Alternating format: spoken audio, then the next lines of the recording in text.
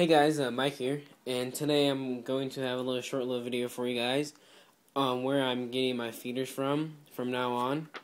Um, their website is called www.petsnakesnakesnacks.net, and I think they're local in uh, the Texas area, Dallas, Texas area. So any kind of reptile show down there, they will probably be there for sure. And anyway, they have they they sell live frozen feeders, crickets, worms, birds, and you know all the other kind of good stuff that you need for your for your reptiles. But anyway, I'm gonna show you guys uh, the 50 pack I got from them. The 50 pack of fuzzy mice, and I got a 15 pack of small rats. And I mean, they gave me a great deal on them. They had like a little like 10% off. So these I only got for like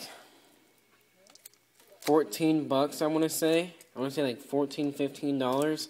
And that's 50 fuzzy mice. I mean, that's pretty good.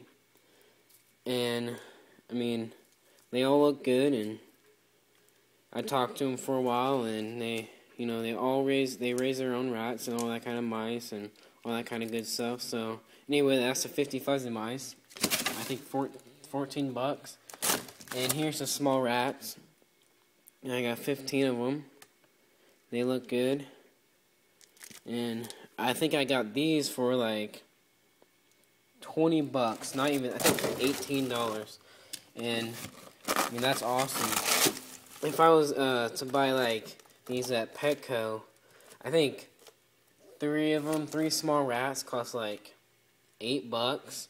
So, you know, you save money in the long run, and it's just better if you have a large collection of snakes, or even kind of getting up there, you know, to maybe ten snakes. You know, you save money from you save money ordering your frozen rats or live rats or mice and from an actually actual breeder because the markup on them in the pet store, PetSmart and Petco, it's crazy. I think for like one medium rat, it's like three, four, I think it's like four bucks. It's crazy. But anyway, that's where I am going to start getting my feeders from. And so, I hope you guys enjoyed the video. And I guess I could do a little out video right here on the female. There she is, getting bigger than ever. And alright, guys, well, thanks for watching. Don't forget to like and comment below and subscribe. Peace out.